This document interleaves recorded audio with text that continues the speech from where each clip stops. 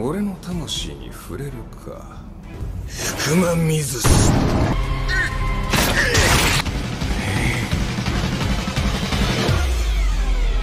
もっと乗るよ。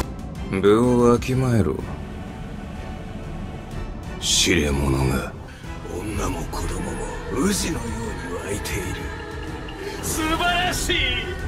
王札だ。These are just a few claims Sukuna declares in Jujutsu Kaisen as king. Not the king of curses, the king of everything. His dominion is the planet itself. Everyone that resides within it should bow down to him due to his superior understanding of true jujutsu and overwhelming power. Sukuna, just like Satoru freaking Gojo, is enlightened. However, unlike Gojo, Sukuna follows a ideology of individualism rather than collectivism. Those that have the notification bell on would have seen our last video, which discusses their inevitable battle that would dominate the Jujutsu world. It will be the end of the manga itself, a climatic battle between good and evil. This video is a further expansion upon that, giving even more clues as to why this is going to happen, including Sukuna's entire story that you didn't know, because, you know, we like to go balls deep. For example, we cannot forget that Sukuna mentioned in the first few chapters that once he takes over Itadori's body for himself, he promises to kill and fight Satoru Gojo first. But obviously, this begs the question, why did Sukuna become evil? How did Sukuna become the king? Why did he become king? How does he have four arms and eyes? The list of questions goes on and on. And worry, we will be answering all of them by the end of this video if you watch it entirely. So let's get started. Welcome back everyone and it's time to go balls And when I mean balls deep, I mean talking about the lore, history, and real life concepts the author of Jujutsu Kaisen used to create Sukuna's character. This is research that we have conducted for everyone because you know, let's be honest, you know what I'm saying? You guys don't want to read in 2022, who reads history and stuff, and you know you're subscribed to Anime Balls Deep. You know Adil and Harrison and Yusuf, they're just gonna read all that shit for me and answer all the big questions. And yes, you got that right. We do, and we have. We got you, don't worry. But in return, can you destroy that like button so we know that you want more JJK content on our channel?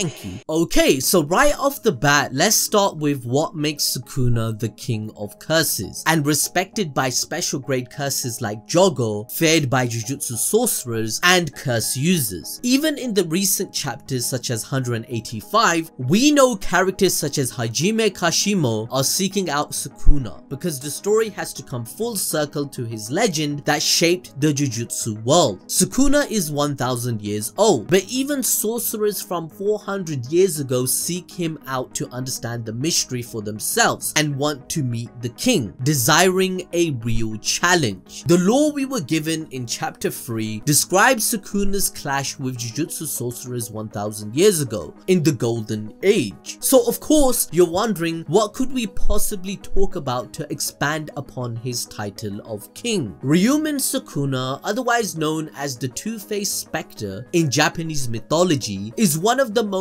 mysterious mythological deities described in the Nihon Shoki Chronicles of Japan. The Nihon Shoki is a Japanese history book created during the Nara period of Japan, and it's also the oldest existing history book in Japan.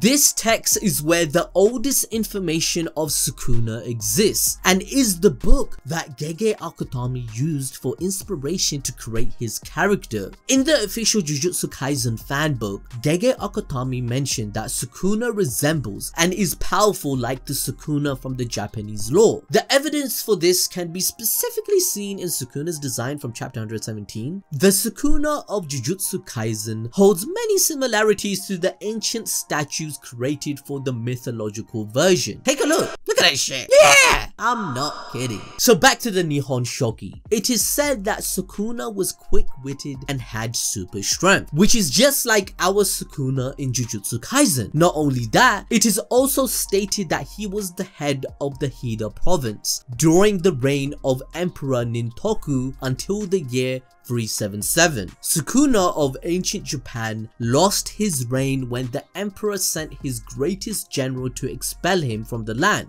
Hmm, this sounds awfully familiar, doesn't it? Yes. That's because it is. The ancient sorcerers in Jujutsu Kaisen's story had to bind together to defeat Sukuna, but we can also say that this great general shogun that was sent can be represented in Jujutsu Kaisen's story by Satoru Gojo, as he is the greatest sorcerer in history, and both of them are seen as natural calamities that are destined to face each other. According to Gege Akutami, the creator of the series, in an interview, it's confirmed that Gojo is the pinnacle pinnacle of power and its ceiling. Gojo is feared more than Sukuna himself was when he was alive in his golden age era, when he was a human. The Ryomen Sukuna of ancient Japan was called the benefactor of the Hida province and was worshipped by the people. The Nihon Shoki describes Sukuna as an evil being, an enemy of the emperor, but the people of the Hida and Mino provinces worshipped him as a savior. Specifically, the people regarded him as a kaiki, a patron of a temple, aka a founder. According to the rumor, one of the temples that the mythological Sukuna founded is called the Senkoji Temple, located in Kyoto City. This would explain why the Sukuna in Jujutsu Kaisen has a domain expansion which summons a divine shrine and a temple. When looking at the original Japanese text of his domain expansion, it translates to demonic territory and also somewhere a king would go to eat, which surprisingly, Sukuna's number one hobby is eating according to the author and his technique of dismantle and cleave is to butcher something. This is a very important clue to the nature of Sukuna's power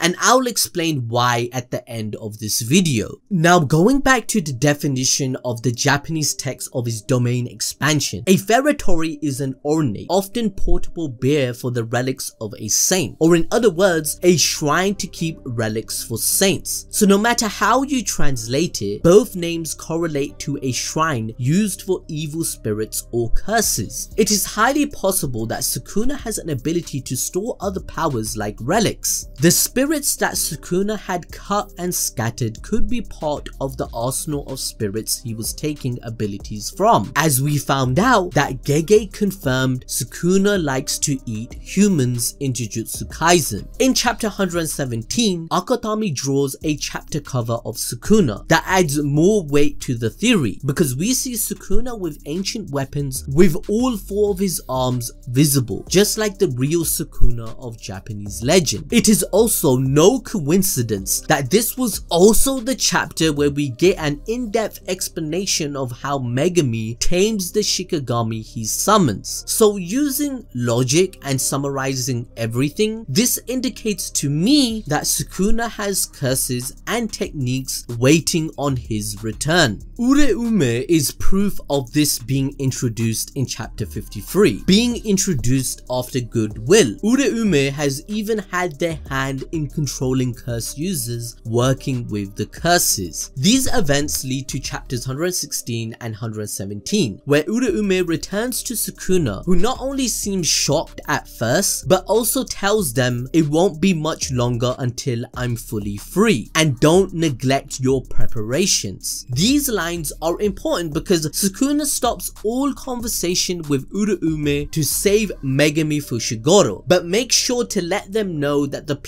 are coming along. This makes it safe to assume Sukuna has certain curses under his command, and Megumi's ability was not only a convenient ability for storing curses, but it could also connect to Sukuna's resurrection or rebirth. especially since Gege Akutami confirmed in an interview that the one assumption that Satoru Gojo has made wrong about Sukuna was his goal to retrieve all his fingers, meaning Sukuna has another plan to come back to life. Another amazing piece of lore from Sukuna's legend in real life is in regards to the Nihon Shoki and the Kojiki, as it explains his odd appearance. There is a story about a pair of twins called Prince Osu and Prince Takeru that Sukuna is said to represent. According to the story, Takeru, who was the younger brother, was ordered by his father to teach Osu some manners when he began to act out. However, even the king feared Takeru's bad temperament, and instead of simply teaching his brother, he killed his elder brother Prince Osu. This has led many Jujutsu Kaisen fans to theorize that Sukuna also had a twin or a brother that he either killed, absorbed in the womb, or even ate. We already know that having a twin is a major problem for the Jujutsu growth of both the siblings. I don't need to remind you how painfully Akutami drilled it into our minds through the story of Maki and Mai versus the Zenin clan, as Maki and Mai stated that twins are viewed as a single being in terms of curse energy, meaning that the murder of one twin would strengthen the remaining sibling. So if Sukuna also had a twin who was impeding his growth, it wouldn't be out of character for him to kill that someone, since he believes in individualism and is incredibly selfish. This also explains why he got such great power, multiple arms, and an unsettling desire for human flesh. After all, we know from the beginning that Sukuna used to eat humans which is totally a taboo, especially for Jujutsu. Gege Akutami confirmed that Sukuna was feared as a king of curses before and even after his legend was created, meaning that even as a human, Sukuna was seen as a king, but people were scared out of their minds from him according to the author. Just his mere presence. This gives us even more evidence to the taboo that Sukuna was doing. He was eating humans and garnered a scary reputation like a cursed spirit would. Remember, a cursed spirit is formed from negative emotions as well, such as the fear of volcanoes and more. This would explain why Sukuna became a walking calamity like Satoru Gojo when he was alive as a human. Akutami confirmed that Sukuna did not have a wife, children or family when he was alive, which leads one to believe that he butchered and ate multiple people to absorb their curse energy and techniques. Moreover, we know that Sukuna kept Uraume because she could cook humans really well and make them taste good. Oh! Now, that was kind of gruesome and you probably weighed it out and you probably view Sukuna kind of differently from what you did earlier and I apologize for that. But let's move on because in the real life mythology, it is also said that Sukuna introduced Buddhism to the Hida province. So basically, characters like Uraume could be descendants of a clan of people from the Hida province, hence their loyalty to Sukuna. Not only that, the spirits Sukuna mentioned to Yuji Itadori that he had cut and scattered could easily be curses that lived under Sukuna's reign and were also from the Hida province. And once Sukuna went up against the best sorcerers of the Golden Age, he used these cursed spirits as protectors or holders of his fingers, scattering them throughout Japan to make sure his immortality will thrive. An example of this is in the death painting arc from chapter 55 titled Origin of Obedience in this arc, we learn that the curse under the Yasohachi bridge was awoken after Yuji Itadori ate the first finger in June, and it then started hunting people down and killing them. Megumi concluded that the finger bearer curse are forming due to Sukuna's curse energy being awakened and is now resonating. So there could be even more curses out there responding to the awakening, especially since Yuji Itadori in the manga has eaten 10 more fingers, contributing to Sukuna's overall energy. So who knows what else could be awakened or already awoken. I'm scared, guys. I'm scared. Oh, oh, scary! Oh, oh, oh, oh, oh, shiver my timbers. Shut up, man.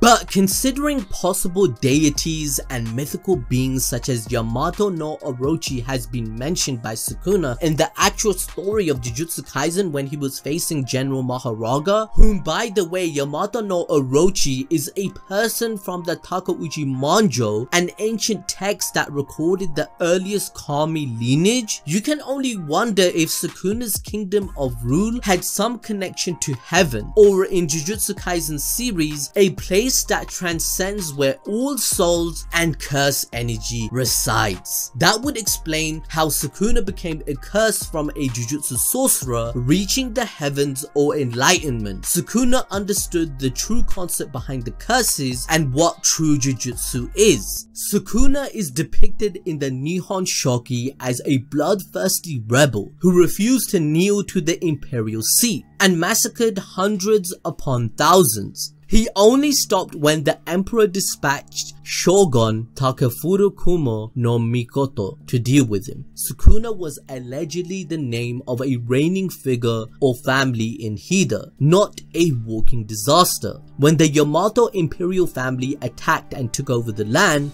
they circulated propaganda stating Sukuna was an evil spectre that haunted Hida, further justifying their violent invasion using corrupt politics. Since the Nihon Shoki was edited by the emperor's family, the Yamato family would have the motive and the power to portray Sukuna negatively. This is also why Sukuna was nicknamed Ryomen, which means two-face in Japanese indicating both his literal two faces but also his opposing reputations. For example, all of this is linked to the recent chapters. The Fujiwara clan was mentioned in the fight against Yuta Okkotsu. If you didn't know, the Fujiwara clan is a real family during the Heian period. And if that name rings a bell, that means you're on the right track. The Heian period is when Sukuna was the king of curses over 1000 years ago. Tengen is the advocate of Buddhism in Jujutsu Kaisen. His age of sorcery is from 1200 years ago. Even our main antagonist Kenjaku comes from the same time period, which means this clan existed during the time of the golden age of sorcery, whom Kenjaku is trying to revive in the modern world. This is very important because until now, we have only seen Gojo mention the vengeful spirit Sugawara no Michizane from that period, and Fujiwara is a new name that seems to be connected to Kenjaku. So there is a connection between Fujiwara, Tengen, and Sukuna. Moreover, according to the history, the Fujiwara and Sugawara families were in conflict. In fact, the Fujiwara family indirectly caused the death of Sugawara no Michizane. The Fujiwara accused the Sugawara of a royal conspiracy and then the ruler stripped Sugawara's position and sent him out of exile where he died. So why did Takako ask if Yuta was a Fujiwara. There's quite an interesting story here. The Fujiwara dominated the Japanese politics of the Heian period through the monopoly of regent positions. The family's primary strategy to be in power was marrying the daughters to emperors. It sounds a lot like what the current Jujutsu society is in, with the big three clans wanting to have the most power by hook or crook, even something like killing their own blood. This is another reason why Satoru Gojo vs Sukuna's fight is inevitable, because once again they share the two sides of the same coin. Sukuna wants to destroy everything and live out his desires, and his story is literally connected connected to the corruption of the Jujutsu families even from a thousand years ago. They are the descendants of the families that torture Gojo in the present. In contrast, Gojo said he wants to make a reform and change the way of sorcery in terms of its reliance on the big families. Whereas Sukuna, he simply thinks it should be gone for good and doesn't give a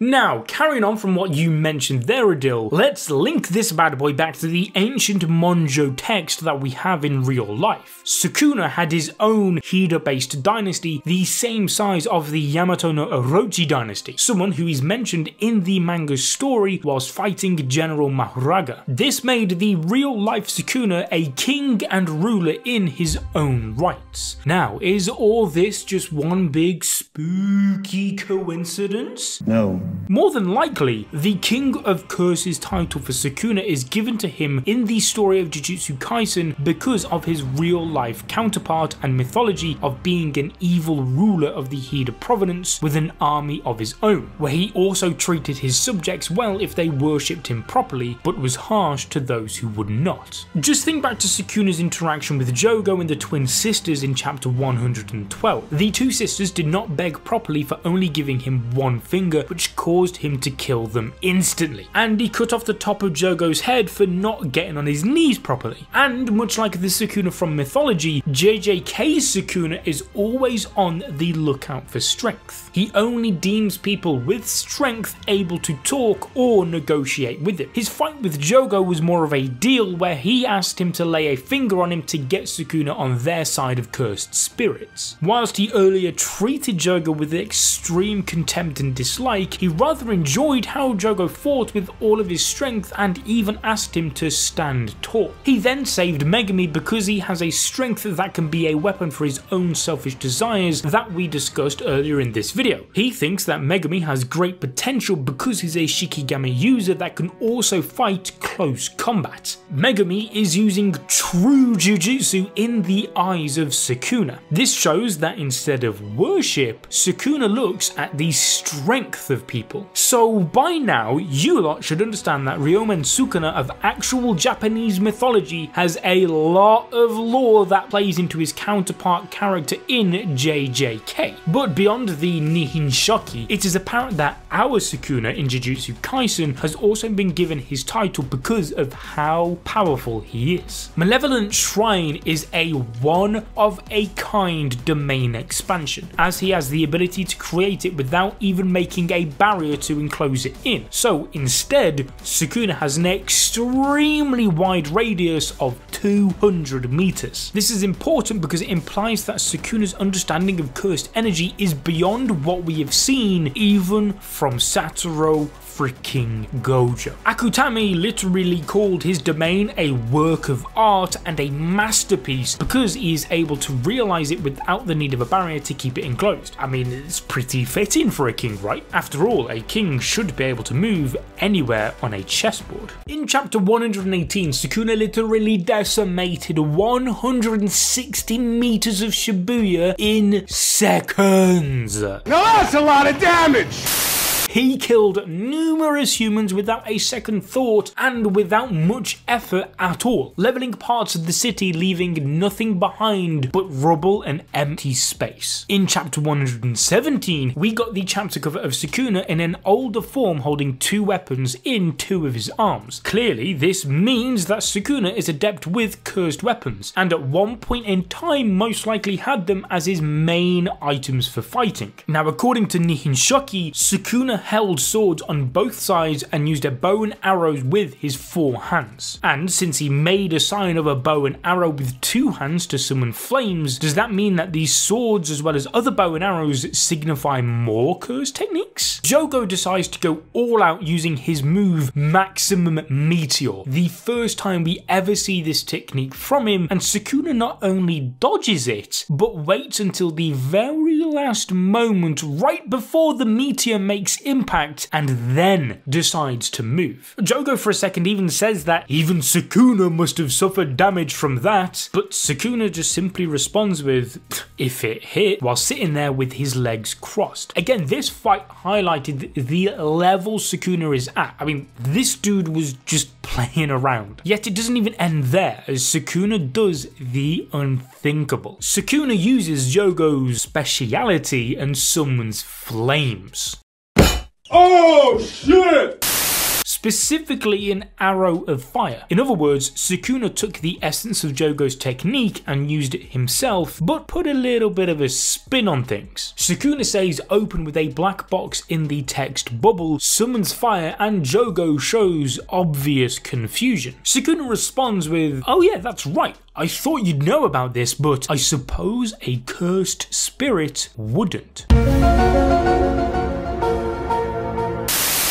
What the hell does that mean? What does Sukuna know about cursed energy that cursed spirits wouldn't know since they are born from it. This interaction and the attacks Sukuna used points to him having multiple curse techniques. It would just add to how dangerous Sukuna is with his primary curse technique. Despite being shrouded in mystery, all hints point to the fact that Sukuna is insanely strong, which is why he is considered the king of curses. He is a cursed spirit due to his past as a Jujutsu sorcerer and splitting himself into 20 pieces. But because of this, he exhibits a power level beyond what curses have achieved after it. He has an understanding of cursed energy at its core beyond what we have seen from anyone else in Jujutsu Kaisen. But regardless of the specific nature of his physical capabilities, Sukuna has shown the ability to look at pretty much any cursed technique and break it down within seconds without an explanation from anyone. I mean, for example, he could tell that Megumi's Shikigami were made from shadows at first glance. He understood Momiko's phone ability as well and didn't even see it used in action. And he understood exactly how General Mahoraga's adaptation and regeneration worked after seeing it just once, as well as having knowledge on the Blade of Execution, a sword embedded with positive energy. It is abundantly clear that Sukuna is not only stronger than the other characters in power, but knowledge as well. Being able to see the depth of others' abilities just like Gojo can, but without the need for the six eyes. From Sukuna's knowledge alone, we know that he achieved an understanding of this unique world better than anyone else, and for some reason, Sukuna sees humans as worthless as sheep in a herd. He shows strong hatred for humans and cursed spirits flocking together to achieve their goals because he believes solely in living for himself. Even when killing Jogo, he still spoke to him as a kind ruler in his last breath. He let him know not to doubt his strength and just how foolish it was for him to compare himself to humans instead of embracing himself completely as a curse. He is aware of the nature of humans and curses, but the only compassionate or kind side we have seen from Sukuna has only come from an interaction with curses, but that too only with someone who he thinks is strong. And when we talk about strong, Sukuna's first challenge went to